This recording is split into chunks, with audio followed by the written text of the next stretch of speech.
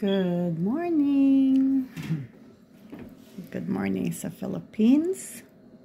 I know it's in the middle of the night now, but here it's um, still, no, it is afternoon.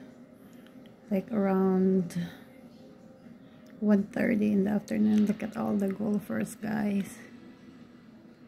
It's so sunny. It's beautiful day here. You know, everyone in the Philippines are sleeping now. See, they're going this way. Without there going around.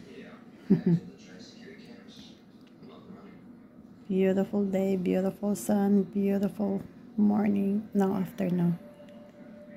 See guys, those are the golfers guys.